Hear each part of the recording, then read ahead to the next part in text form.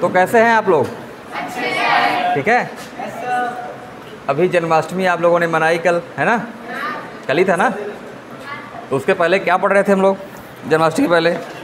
कि पढ़ा के भूल गए? बेटा वहीं देखो मार्कर रखा हुआ जाके ले आओ। डस्टर और मार्कर हम लोग क्या शुरू कर रहे थे? Political parties and party systems in India है ना? तो उसमें हमने कुछ पढ़ भी लिया। तो पहले आप ये बता दो मुझे कि होता क्या है पॉलिटिकल पार्टीज़ क्या होती हैं? हाँ राजनीतिक दल क्या होते हैं? बेसिकली ये ऐसे एक समान विचारधारा के लोगों का ग्रुप है जो नेशनल इंटरेस्ट के लिए काम करते हैं। और इनका मूल उद्देश्य क्या होता है? सत्ता की प्राप्ति। सरकार बनाना, सत्ता की प्राप्ति करना।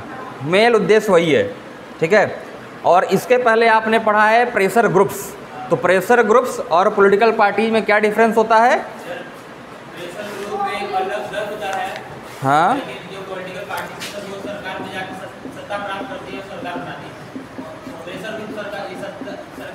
पॉलिटिकल पार्टी ये very good and party systems ठीक है? मेन इनका काम है सत्ता की प्राप्ति, किनका? पॉलिटिकल पार्टीज़ का। अब आपने उनके टाइप्स भी समझा। पहले तो आपने डिफिनीसन समझी माइकाइबर के अनुसार एडमंड बर्ग के अनुसार, है ना? अब फिर आपने संख्या के आधार पे ये देखा कि दल, राजनीतिक दल कितने प्रकार के होते हैं। कितने प्रकार के होते हैं? तीन प्रकार के। कौन कौन से? Very good single party system dual party system and multi party system तो भारत कौन सा सिस्टम है इंडिया में? मल्टी पार्टी सिस्टम इंडिया में है। और डुअल पार्टी सिस्टम का बेस्ट एग्जांपल कौन सा देश है? अमेरिका और कौन कौन सी दो पार्टियाँ हैं अमेरिका की? Republican and Democrats. ये याद रखना है क्योंकि अमेरिकन इलेक्शन चल रहा है, ठीक है? और यूके में कौन कौन सी दो पार्टियाँ हैं? Very good liberal and conservative पार्टियाँ, ठीक है? और भारत में कितनी पार्टियाँ हैं? लगभग राष्ट्रीय पार्टी में बात करूँगा तो। जो नेशनल पार्टीज़ है, बाकी पार्टियाँ तो भारत में हज़ारों हैं, ठीक है? छोटे छोटे दल बने होते हैं। आज कोई नेता नाराज़ हुआ, कल अपनी पार्टी बना लिया। है ना? तुरंत अलग पार्टी बनाते हैं यहाँ पे। तो लेकिन भारत में बहुत सारे, जैसे कुछ दलों को चुन इलेक्शन कमीशन के द्वारा राष्ट्रीय दल का मान्यता प्रदान की जाती है, ठीक है? कुछ दलों को क्षेत्रीय दल की मान्यता प्रदान की जाती है। उनकी सबकी कैटेगरी है कि कौन चुनाव में कितने परसेंटेज वोट मिलेगा तो उसको उस कैटेगरी में डाल दिया जाएगा। जैसे हाल ही में सबसे लेटेस्ट कौन सी पार्टी है जिसको क्या बात है? आप लोग तो मतलब पूछने से पहले ये सारी चीज़ें रिकॉल हैं आप लोगों को। ठीक है वेरी गुड फिर आपने पढ़ा विचारधारा के आधार पर दलों के प्रकार। कौन कौन से तीन प्रकार पढ़े? लेफ्टिस्ट राइटिस्ट एंड मध्यम वर्गीय मिडवे जो दोनों को लेके चलने वाली हैं। ठीक है? तो अब आप मुझे ये बता दो कि लेफ्टिस्ट पार्टियाँ क्या होती हैं? बेसिकली क्या आइडियोलॉजी होती है उनकी? और और कोई इधर? गर्ल्स मैं इसी पे बात कर रहा था ना कि लेफ्टिस्ट और राइटिस्ट क्या होते हैं कि ये कॉन्सेप्ट कहाँ से निकल के आया? और आज भी इंडिया में कुछ कुछ प्रजेंस है, कुछ पार्टियों आप कहते होंगे कि ये लेफ़्ट के लोग हैं, ये दक्षिणपंथी लोग हैं। और बीच में तो ऐसा हो गया कि लेफ़्ट जैसे एक गाली की तरह हो गई, जिसको आप बोल दो कि लेफ्टिस्ट है। मतलब वामपंथी है वो गाली हो गई थी। समझ रहे हो? वामपंथ को, जबकि वामपंथ ओरिजिन में इतना गंदा नहीं है वो। वो बात करता है किसके लिए? समाज के सबसे हाशिए पे जो लोग हैं, वंचित लोग हैं, जो पिछड़े लोग हैं, महिलाएँ हैं, बच्चे हैं, दलित हैं, शोषित हैं, पीड़ित हैं, वंचित हैं, उनके लिए बात करता है, गरीबों के लिए बात करता है। ठीक है? लेकिन फिर भी ऐसा क्या वजह थी कि शुरुआत में तो कुछ राज्यों में कम्युनिस्ट पार्टियाँ सरकार चला रही थी? लेकिन धीरे धीरे अब कम्युनिस्ट पार्टी हर राज्यों से, एक राज्य को छोड़ दो केरला। तो लगभग सभी राज्यों से उनका सफाया हो चुका है। क्या बात क्या वजह है? बिहार में बहुत एक्टिव थे पहले। अलग अलग राज्यों में बहुत एक्टिव थे लोग। लेकिन धीरे धीरे धीरे धीरे क्या हुआ? इनका सब जगह से, इनका अस्तित्व खत्म होता गया। ऐसी क्या वजह थी? और जो दक्षिणपंथी विचारधारा की पार्टियाँ थी, उनका प्रभुत्व बढ़ता गया। आज भारतीय जनता पार्टी जो रूल कर रही है, दक्षिणपंथी विचारधारा की सबसे शीर्ष, एक तरह से सबसे बड़ी पार्टी कह लो इंडिया में। इसने मतलब शुरुआत में बहुत संघर्ष किए हैं। इनको एक सीट, दो सीट मिलती थी चुनाव में। और पार्लियामेंट में इनकी सब बहुत आलोचना करते थे कि ये काऊ बेल्ट की पार्टी है। काऊ बेल्ट? काऊ बेल्ट समझते हो? हाँ? काऊ बेल्ट मतलब जहाँ गाय को पूजा पूजा की जाती है जिस एरिया में, खासकर नॉर्थ इंडिया में। खासकर UP, Bihar, Madhya Pradesh, Rajasthan. North India में ही लिमिटेड पार्टी माना जाता था। माना जाता था कि इसका पैन इंडिया मतलब पूरे होल इंडिया में इसकी पहचान या पहुँच नहीं है। लेकिन आज वही पार्टी धीरे धीरे धीरे धीरे मेहनत करके दस साल से सत्ता में आ गई। और सभी पार्टियों को, भारत की सबसे पुरानी पार्टी को साइड लाइन कर दिया। लेकिन फिर से ये देखो, यही तो डेमोक्रेसी खूबसूरती है कि एक समय ऐसा आया था कि लगा था सबको कि कांग्रेस ख़त्म, है ना? बावन सीट चौवन सीट, पचास सीट पे आ गए थे। लेकिन फिर से उन्होंने कम किया। और आज थोड़ा मज़बूत विपक्ष की भूमिका निभा रहे हैं, है ना? तो यही है डेमोक्रेसी की खूबसूरती। एक टाइम पे तो मोदी ईरा जो फ़र्स्ट था मतलब 2014 से उन्नीस, उन्होंने नारा भी दिया था कि कांग्रेस मुक्त भारत। मतलब कांग्रेस पार्टी को एक तरह से इतना ज़्यादा डैमेज किया। लेकिन धीरे धीरे डेमोक्रेसी की खूबसूरती यही है कि लोग एक पार्टी से ऊब जाते हैं। और जब ऊब जाते हैं तो उनके पास एक दूसरा ऑप्शन होना चाहिए। और वो इंडिया में ऑप्शन है वो। भले आप दूसरी पार्टी को, कांग्रेस को ना दो, किसी दूसरी पार्टी को दो, लेकिन बाद में कहीं ना कहीं जो दो अलायंस है हमारे यहाँ, है ना अलायंस एक तो एनडीए का और एक यूपीए का। बीजेपी के लीडरशिप में सबसे बड़ा अलायंस एनडीए जिसकी सरकार अभी चल रही है। कांग्रेस के लीडरशिप में सबसे बड़ा अलायंस यूपीए ठीक है? अब जिसी को इंडिया अलायंस बोला जा रहा है आजकल, उसी का नया नाम क्या है अब? इंडिया अलायंस ठीक है? लेकिन उसका वही सारी विचारधारा है, वही सारी चीज़ें हैं जो पहले यूपीए का था। ठीक है? और इनका मेन उद्देश्य है सत्ता की प्राप्ति। क्योंकि जब तक आप सरकार में नहीं आओगे, तब तक आप कुछ कर नहीं सकते। इसीलिए सरकार में आना बहुत ज़रूरी है, ठीक है? तो और क्या पढ़ा था हमने सिंगल पार्टी, डबल पार्टी। हाँ हम ये समझ लें कि ये वामपंथ और दक्षिण पंथ का कॉन्सेप्ट निकल के आया कहाँ से? तो ये फ्रांस से निकल के आया था, ठीक है? शुरुआत में जब फ्रांस में राजशाही सिस्टम था मोनार्की तो मैंने बताया था कि राजा के जो लेफ़्ट साइड बैठते थे, और वो हमेशा प्रोग्रेसिव थॉट्स की बात करते थे। कहते थे कि राजा की जो ये पॉलिसी है, ये ख़राब है इसमें ये सुधार होना चाहिए। गरीबों के लिए, पिछड़ों के लिए बात करते थे। वो कहलाए लेफ़्ट। और जो राजा के राइट साइड बैठते थे, ठीक है, वो हमेशा राजा के समर्थन में होते थे। हाँ राजा साहब, आपने बहुत बढ़िया काम किया। बहुत शानदार, ठीक है। और वो हमेशा एक हिस्टोरिकल ग्लोरी की बात करते थे कि आज तो हम हैं ही जो हैं। वो ऐसी बात करते हैं कि पहले, इससे पहले जो समय था, उसमें और ज़्यादा अच्छे थे। दक्षिणपंथी मतलब अपनी हिस्टोरिकल ग्लोरी को खूब प्रमोट करते हैं। जैसे भारत में अगर आप समझोगे तो आज जो पार्टियाँ या जो लोग ये बात करें कि महाभारत काल में जो टेक्नोलॉजी हमारे पास थी, रामायण काल में तो हमारे पास पुस्तक विमान था, हम बैठ के उड़ते थे।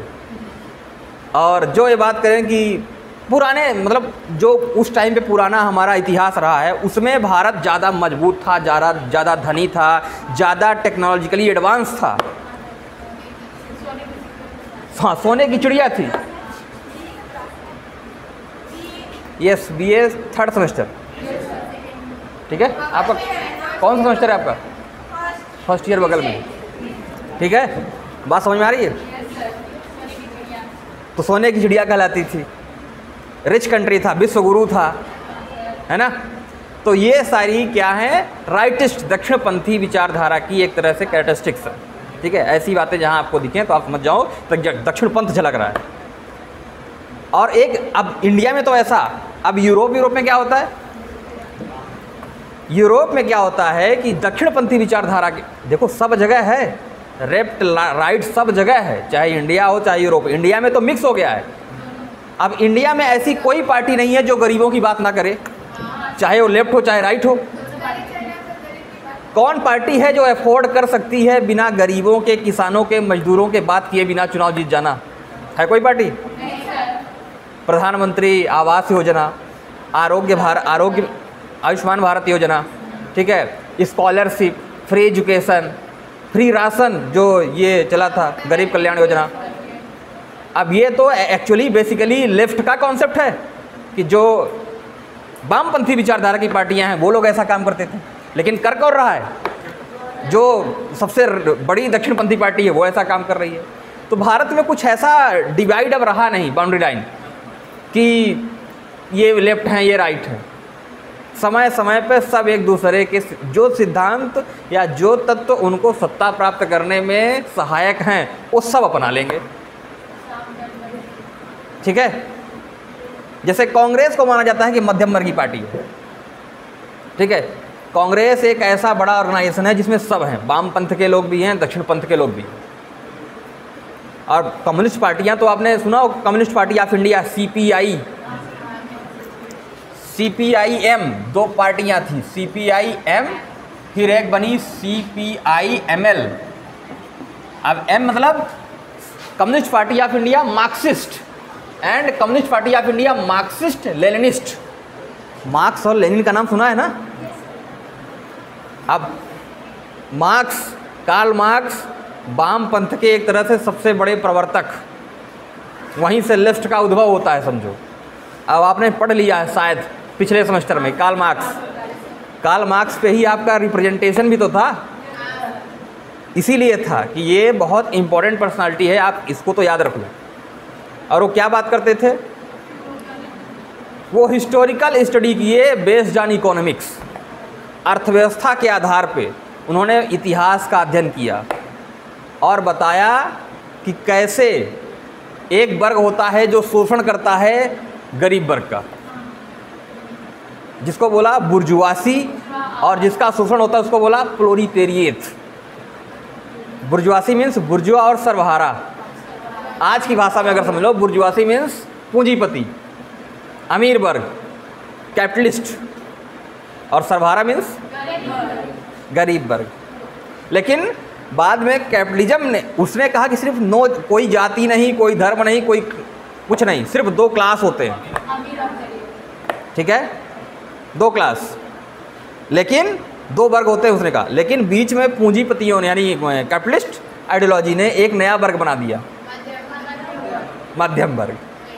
ठीक है? और ये मध्यम वर्ग जो आदमी है ना ना इधर का है, ना उधर का है। उसका जीवन अगर एक्चुअल में वो सर्वहारा वर्ग के साथ ही मिल जाता ना तो हो सकता था कि रेवोल्यूशन हो जाता उनके हिसाब से, क्रांति हो जाती। लेकिन उसकी तो पूंजीपति वर्ग से मिलने की औकात नहीं है। लेकिन आकांक्षा ज़रूर है। वो जाना वहीं चाहता है, वो बनना वहीं चाहता है। और सर्वहारा गरीब वर्ग से अपने आप को बड़ा दिखाता है। कि अरे, ये गरीब हैं, हम तो हम हैं? है ना? ऐसा कुछ। तो अब ये बहुत इम्पोर्टेंट था कैपिटलिस्ट के लिए कैपिटलिज्म सोसाइटी के लिए, कि इस वर्ग को बढ़ाओ। इससे क्या होगा? ये मदद करेगा। वरना पूंजीपति तो मुट्ठी भर हैं। अब ये वर्ग भी मदद करेगा पूंजीपतियों की। मध्यम वर्ग सबसे ज़्यादा मदद किसी करता है? अमीर वर्ग की। ठीक है? क्योंकि सबसे ज़्यादा परचेजिंग पावर किसकी होती है? मध्यम वर्ग ज़्यादा प्रयास करता है। जैसे मान लो पूंजीपतियों ने कोई इंडस्ट्री लगाई कैपिटलिस्टों ने कोई इंडस्ट्री लगाई, उनके सामान खरीदे कौन? गरीब वर्ग तो क्या ही खरीदेगा, उसके पास तो है ही नहीं कुछ। वो तो कमाएगा, खाएगा, ख़त्म। जैसे आकांक्षाएँ सबसे ज़्यादा किसमें होती हैं? मध्यम वर्ग में कि एक गाड़ी खरीद लूँ, एक घर खरीद लूँ, ये कपड़े खरीद लूँ, वहाँ चला जाऊँ, यहाँ चला जाऊँ, दुनिया घूम लूँ। सबसे ज़्यादा महत्वाकांक्षा वाला वर्ग मध्यम वर्ग। और वही फ़ायदा करता है पूंजीपति वर्ग को। क्योंकि वरना वो सामान बेचेंगे किसको? और वो इसको इसको कैसे फ़ायदा देता है वो? वो थोड़ा थोड़ा छूट दे देता है बीच बीच में। है ना? जैसे सेल लगा देता है कि twenty percent of thirty percent of अब वो ऑफ़ ऑफ़ कुछ नहीं है, ठीक है? बस वो दिखावा है। और जहाँ ऑफ़ का बाहर बैनर लगा, मध्यम वर्ग भाग के घुस जाएगा अंदर मॉल में जाके। खरीदो खरीदो खरीदो, पूरा खरीदो। डिस्काउंट आ गया। है ठीक है? तो ये सब अपने सामान बेचने के तरीके। हैं तो मैंने कुछ आपको लिखाया भी था इसमें? तो लिखो, थोड़ा लिख लो। अभी आपने क्या क्या लिखा है? संख्या के आधार पे, विचारधारा के आधार पे, अब आप लिख लो क्षेत्र के आधार पे। एक हेडिंग और लिख लो। भौगोलिक आधार पर राजनीतिक दल।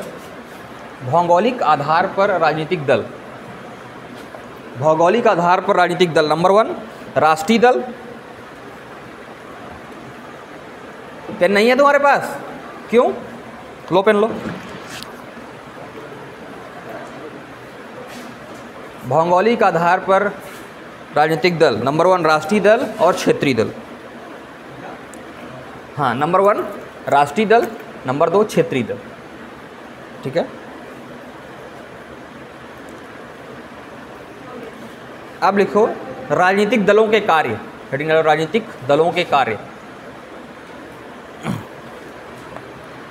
राजनीतिक दलों के कार्य। अब राजनीतिक दलों का सबसे इम्पोर्टेंट कार्य क्या है?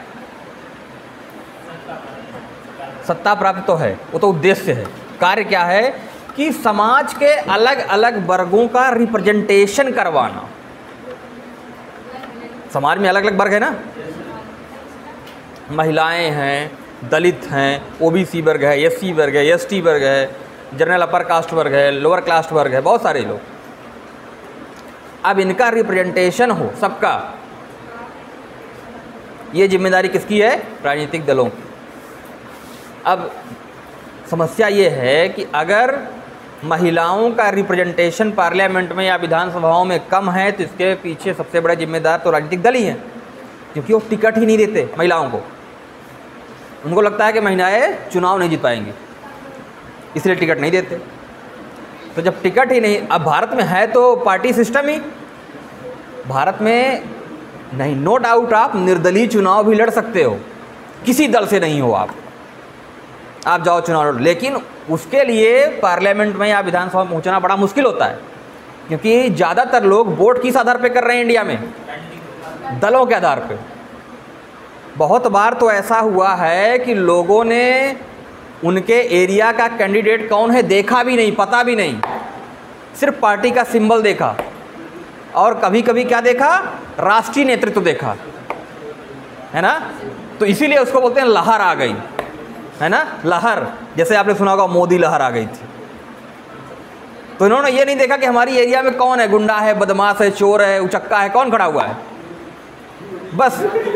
उन्होंने क्या किया? कमल दे मतलब सिंबल देखा और शीर्ष नेतृत्व देखा कि प्रधानमंत्री कौन बनेगा, इसको मैं वोट दूँगा और वोट कर दिया। तो इसीलिए तो आपके पास तीसरा ऑप्शन भी है, निर्दलीय, जो किसी दल में नहीं है, लेकिन उसके लिए चुनाव जीतना बहुत कठिन होता है। ठीक है? कुछ लोग होते हैं जो जीत के जाते हैं, है ना? कुछ लोग तो इस बार भी ऐसे हैं जिनको न कांग्रेस ने दिया, न किसी पार्टी में टिकट दिया, आरजेडी ने नहीं दिया। पप्पू यादव का नाम आपने सुना होगा। बिहार से जीत के गए हैं, बड़े कद्दावर नेता हैं। ठीक है? और कई सारे लोग हैं जो निर्दलीय जीत के जाते हैं। लेकिन वो डिपेंड करता है कि उनका उस एरिया में कैसा पकड़ है, कैसी पहुँच है, कैसी, उनका कार्य कैसा है। ठीक है? हाँ ये जो कह रहे हैं कि दबदबा होना चाहिए। है ना? ये सब रील्स वाले बच्चे हैं ना कि दबदबा है, दबदबा था, दबदबा रहेगा। ठीक है, दूसरा लिखो। हितों का एकीकरण और हितों का संचयन करना। हितों का एकीकरण और हितों का संचयन करना। हितों का एकीकरण और हितों का संचयन करना। सामाजिकरण, नंबर थर्ड, सामाजिकरण एवं लोगों को गतिशील बनाना। सामाजिकरण एवं लोगों को गतिशील बनाना। और सबसे इम्पोर्टेंट सरकार का फॉर्मेशन फॉर्मेशन ऑफ़ गवर्नमेंट सरकार बनाना या सरकार का निर्माण करना। ठीक है? सबसे महत्वपूर्ण यही है समझो।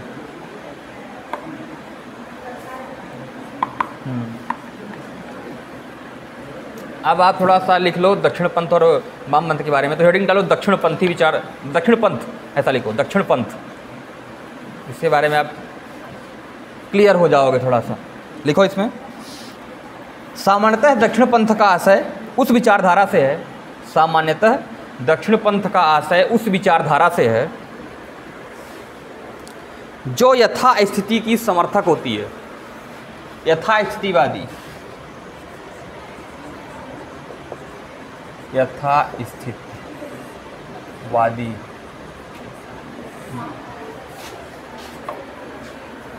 ठीक है? जो यथा स्थिति की समर्थक होती है। यथा स्थिति क्या होती है? मतलब जैसी व्यवस्था चल रही है, जैसी कंडीशन है, वैसी ही बनी रहे।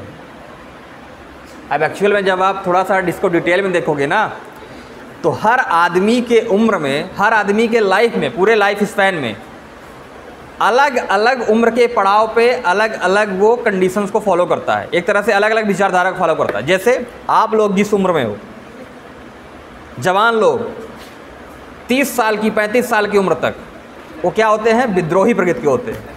कि ठीक नहीं है ये सब। ये गलत क्यों हो रहा है? विद्रोह कर दूँगा मैं, ये कर दूँगा, वो कर दूँगा, क्रांति कर दूँगा, बदल दूँगा पूरा। लेकिन जिस एज में आपके पेरेंट्स चल रहे हैं, मान लो, आपके माता पिता उनको लगता है कि जैसा चल रहा है, ठीक चल रहा है। बदलाव मत करो, ज़्यादा इधर उधर उठा पटक मत करो। इसलिए आपको भी रोकते हैं वो, कि नहीं नहीं, शांत रहो तुम, शांत रहो। क्यों? क्योंकि उम्र के साथ साथ एक डर आ जाता है, कि क्या पता जैसी स्थिति है, स्थिति उससे भी बदतर हो जाए, इसके बदलने के चक्कर में। पता चला, करा तो चलने थे, करा अच्छा है, कि बहुत अच्छा कर देंगे, बदल देंगे पूरी व्यवस्था, और कर दिए ये बदतर। इसलिए वो चाहते हैं, वो एक यथा स्थितिवादी हो जाते हैं कि जैसा चल रहा है ना बेटा, चलने दो। बस इसी को तुम बना के रखो मेंटेन रखो। समझ रहे हो? वो ये नहीं चाहते कि तुम बहुत रेडिकल चेंज कर दो। रातों रात क्योंकि रेडिकल चेंज में नुकसान भी होता है। जब आप रेडिकल चेंज करने जाओगे तो ज़रूरी नहीं है कि अच्छा ही हो, बुरा भी हो सकता है। जैसे बहुत सारे लोग चाहते हैं कि बहुत जल्दी हम पूंजीपति बन जाएँ, अमीर बन जाएँ एक महीने में एक रात में इतना पैसा कमा लें। अब वो जो तरीके अपनाएँगे, उसमें नुकसान भी हो जाएगा। है ना? इसीलिए माँ बाप समझाते हैं पेरेंट्स या सीनियर समझाते हैं कि धीरे धीरे आराम से और स्थिति को मेंटेन रखो। वो आपको प्रमोट करते हैं कि नौकरी करो ताकि तुम्हारी एक परमानेंट इनकम हो सके और घर चलता रहे। ठीक है? तो यथा, ये जीवन में भी होता है और जीवन में होना भी चाहिए ऐसा। जो बच्चा अपने कॉलेज के दौरान, अपने जवानी के दौरान विद्रोही नहीं हुआ तो उसने फिर जिया नहीं है, समझो। उसने काटा है बस। ठीक है तो जीवन जीना नहीं है, जीवन जीना और जीवन काटना, दो अलग अलग बातें। तो जीवन काटना नहीं है? विद्रोह होना चाहिए, लेकिन आपके कॉजेज आपके रीजन बड़े होने चाहिए। ठीक है? जैसे जेल जाना भी एक बड़ी प्राउड की बात है। यस लेकिन पता चला आप चोरी के लिए जेल गए हो। छिनैती के लिए क्षण में जेल गए हो आप। है? ये तो निकृष्टता है। आप अगर जेल गए हो लोक कल्याण के लिए, जन कल्याण के लिए, कि यहाँ से अवरी तक रोड नहीं बन रही थी, आपने विद्रोह कर दिया जाके, आपने प्रशासन का घेराव कर दिया, आप मान ही नहीं रहे हो।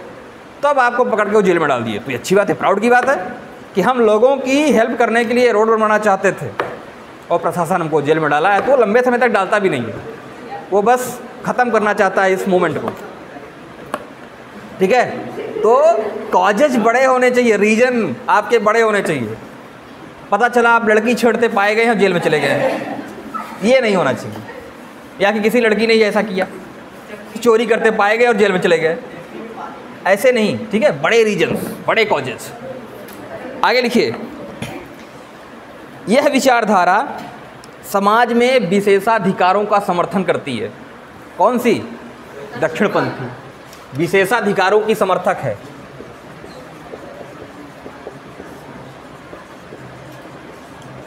विशेषाधिकारों की समर्थक। इसका क्या मतलब है? अब जैसे समाज में कुछ वर्गों को ना अपने आप फ़ायदा है।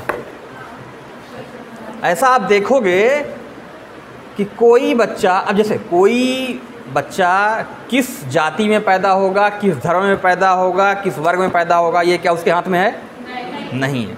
लेकिन उसके हाथ में है नहीं लेकिन अगर वो गलती से किसी ऐसे जाति में पैदा हो गया इंडिया में जाति ज़्यादा डोमिनेंट है ठीक है? जाति की बात करेंगे। अगर वो ऐसे जाति में पैदा हो गया जो समाज में सो कॉल्ड लो कास्ट कहे जाती हैं। ठीक है? जिनके फैमिलीज़ ने, जिनके पेरेंट्स ने वो निम्नतम ट्रीटमेंट झेला है या झेल रहे हैं। अब वो पैदा हो गया वहाँ पे तो उसके साथ भी वही होगा। होगा कि नहीं होगा? एक, अब वो भी, अब कुछ लोग ऐसे होंगे, कुछ बच्चे ऐसे होंगे जो सो कॉल्ड उच्च जाति में पैदा हो गए। जिनके पास ज़ीरो नॉलेज ज़ीरो अचीवमेंट लेकिन सम्मान उनका बहुत समाज में, कि फलाने जी आ गए फलाने जी आ गए सारा समाज झुक के नमस्कार कर रहा है, प्रणाम कर रहा है। अब वो बच्चा, वो सारा सम्मान, वो सारा जो विशेषाधिकार है, ऐसे ही मिल जाएगा उसको। समझ रहे हो? तो ये तो इनजस्टिस है ना। अब आपके हाथ में क्या था? क्या मेरे हाथ में था कि किस जाति, किस धर्म में, किस जहाँ पैदा हो जाए? ये तो है नहीं। है ना? तो ऐसे लोग ऐसे विशेषाधिकारों को बनाए रखने का प्रयास करते हैं कि जैसा है चलता रहे चलता रहे। ठीक है? आगे लिखो। नेक्स्ट इस विचारधारा में स्वतंत्रता और अधिकारों की बजाय इस विचारधारा में स्वतंत्रता और अधिकारों की बजाय समाज के स्वरूप को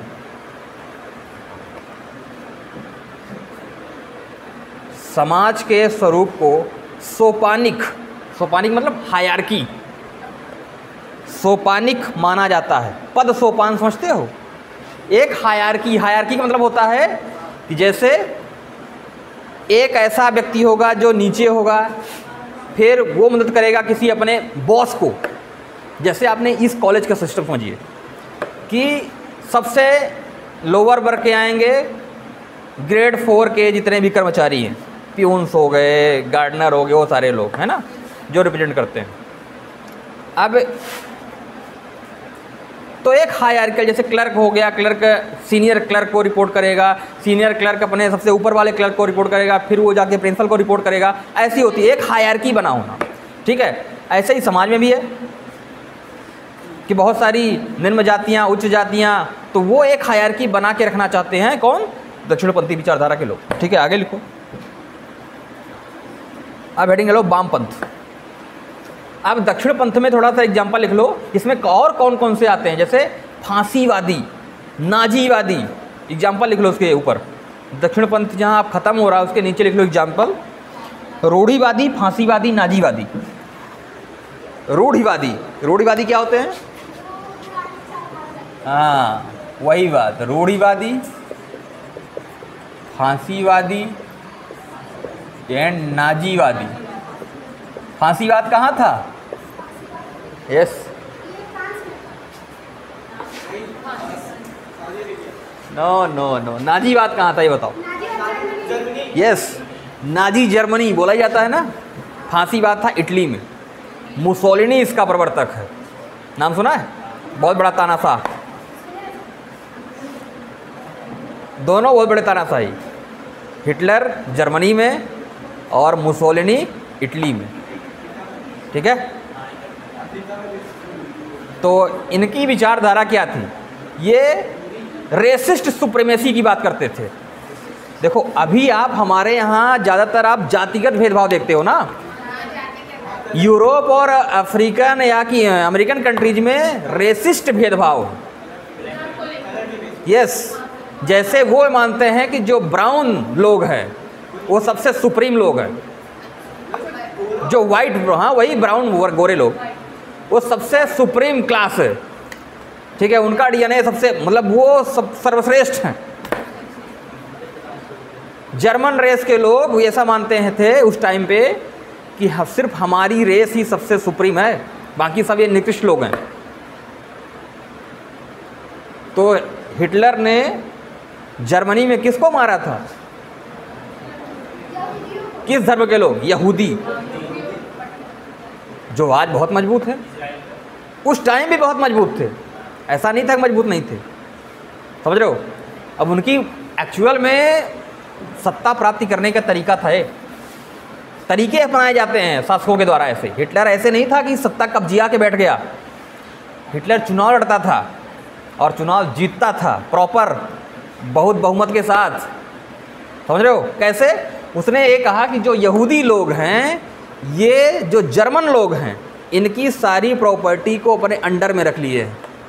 क्योंकि वहाँ पे उस टाइम पे भी ज़्यादा धनी वर्ग कौन था? यहूदी। यहूदी अभी भी बहुत धनी है। जहाँ भी होते हैं, वो धनी होते हैं। ठीक है? तो सारे बिज़नेस सारे रिसोर्सेस सारी जॉब्स एक तरह से किसके पास चली गई थी? यहूदियों के पास। तो उसने जो जर्मन मूल के लोग थे, उनके अंदर ये भावना जगाई कि ये तुम्हारा हिस्सा खा रहे हैं। ये तुम्हारे दुश्मन हैं। तो सबसे बड़ी तुम्हारा भला कब होगा? तुम गरीबी से मुक्ति कब पाओगे? बेरोजगारी से मुक्ति कब पाओगे? जब इनको मार के भगाना पड़ेगा। तो इनको मार के भगाएगा कौन? मैं। तो वोट मुझे दो। तो लोगों ने कहा अरे मैं से मतलब हिटलर। कुछ बच्चे तो यही चौक गए कि मैं मतलब हाँ? तो लोगों ने हिटलर को वोट दिया और हिटलर ने फिर वैसा कर दिया। साठ लाख यहूद साठ लाख यहूदियों को मारा। और बाकी जो बचे हुए थे, जो बचे, सोचो, वो भाग गए सब। जब वो भाग जाएँगे तो उनकी प्रॉपर्टी उनके घर, उनकी प्रॉपर्टी तो मिली जाएगी। समझ रहे हो? जब भारत पाकिस्तान का विभाजन हुआ था, तब भी ऐसे हुआ। जब पाकिस्तान बन गया, पाकिस्तान से भाग के बहुत लोग आए थे। आपने वो कहानी सुनी है ना? इसीलिए उनको भगाया गया। आज भी जो ऐसे देशों, जैसे बांग्लादेश का भी नरसंहार हुआ। आपने देखा? अब जैसे ये बांग्लादेश में घटना हुई, वहाँ के जो माइनॉरिटीज़ थे मतलब हिंदू, सिख, बौद्ध, जैन, ईसाई, इनके ऊपर अटैक शुरू हो जाते हैं। हमले, क्यों? क्योंकि ये भाग जाए यहाँ से। जब ये भाग जाएँगे तो इनकी संपत्ति मेरी हो जाएगी। तो वो करता कौन है? अगल बगल के लोग ही करते हैं। जिसके घर में जिसका बगल में घर है, वो चाहेगा इसको मार के भगा दें, क्योंकि इसका घर बड़ा है, इसकी गाड़ी बड़ी है, सब ले लेंगे मार के भगा के इसको। ऐसे ही पाकिस्तान से जब पाकिस्तान बना, दस लाख लोग भाग के आए बॉर्डर क्रॉस करके। कि उनको भगाया गया। अब उस टाइम पे बड़े बड़े लोग, आज के जो, जैसे आपने दिलीप कुमार का नाम सुना होगा। एक बहुत बड़े लॉयर थे सुप्रीम कोर्ट के, राम जेठमलानी, इनका नाम सुना होगा। बहुत सारे लोग, आडवाणी जी जो आज हैं, वो भी, सब इनके पेरेंट्स सब वहीं से भाग के आए थे। ऐसा नहीं कि लोग अच्छा इनके पास घर नहीं था, ज़मीन नहीं थी, भाग रहे थे। ये वेल सेटल्ड लोग थे, बहुत बड़े लोग थे, बड़ा नाम था इनका। लेकिन भगा दिए गए वहाँ से। ठीक है?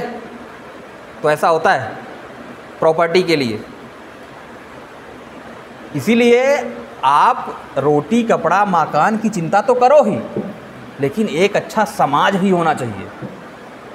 आज व्यक्ति बहुत ज़्यादा व्यक्तिवादी हो गया इंडिविजुअल हो गया इंडिविजुअलिस्ट हो गया, है ना? आपके घर वाले भी कहते हैं कि बेटा अपने भी फोकस करो, अपना ध्यान दो, अपना करियर बनाओ, बाकी दुनिया सब बेकार। है लेकिन आपके रहने लायक अगर समाज ही नहीं रहेगा तो आप क्या करोगे?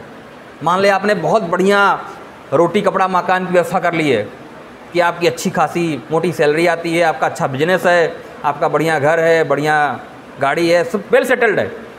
लेकिन ऐसा समाज ही नहीं है कि जो आपको जीने दे। तो रोटी छीन ली जाएगी। घर जला दिए जाएँगे और कपड़े उतार लिए जाएँगे। बात समझा रही? तो रोटी, कपड़ा, मकान की चिंता तो हो, लेकिन उसके साथ साथ हमारा समाज, हमारा देश भी ऐसा रहे कि जहाँ हम जी सकें, रह सकें। पता चला पूरा जीवन दे दिए रोटी, कपड़ा, मकान पे ही। और जब रोटी, कपड़ा, मकान आ गया, तब छीनने वाले आ गए रोटी छीन लिए तुम्हारी। तुम्हारी नौकरी छीन लिए, तुम्हारा बिज़नेस छीन लिए, तुम्हारा व्यापार छीन लिए, तुम्हारा घर छीन लिए, घर जला दिए। कपड़े उतार लिए, बोले, जाओ, निकलो यहाँ से। कहाँ जाओगे आप? ऐसे बहुत सारे लोग हैं इंडिया में, और इंडिया में क्या, इंडिया में भी हैं? पूरी दुनिया में, जिनके पास अपना घर नहीं है, जिनके पास किसी देश की नागरिकता नहीं है।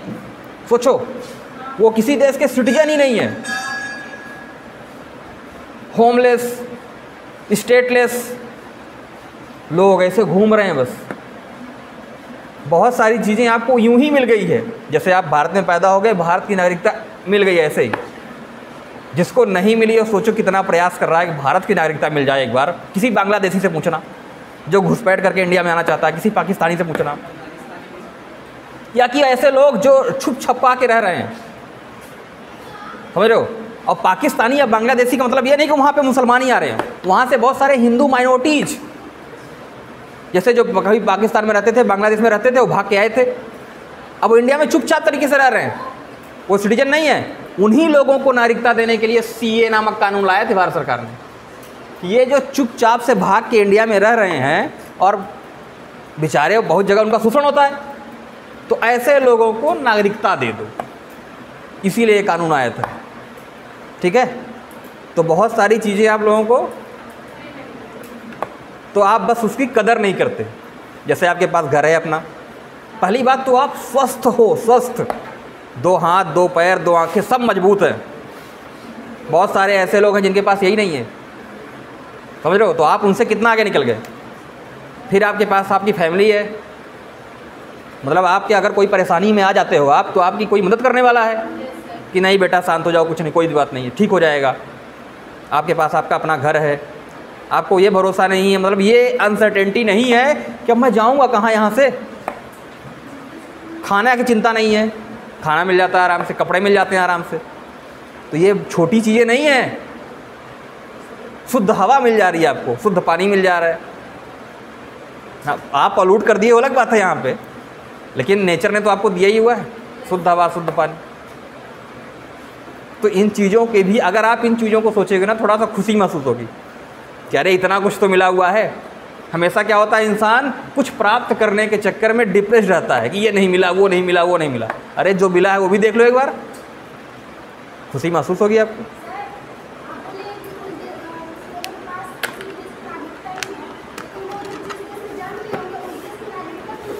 तो उन लोगों ने कुछ ऐसा काम किया होगा कि उनकी नागरिकता छीन ली गई।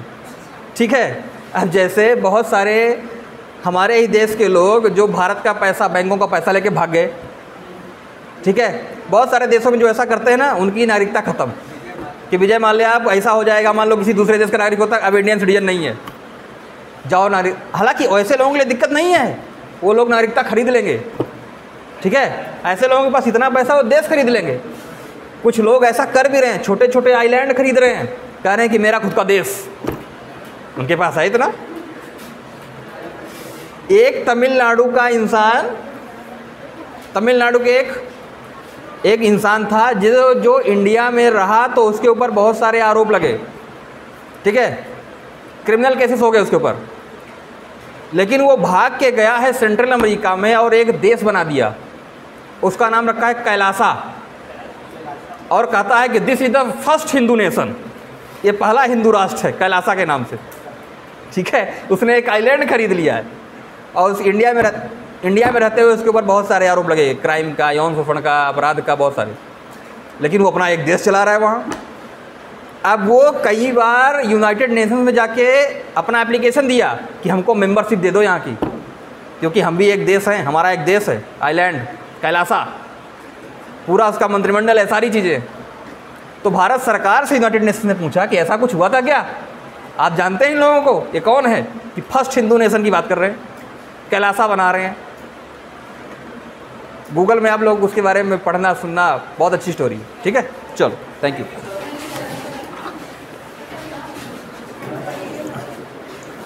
ऑफ़ कर दो बेटा।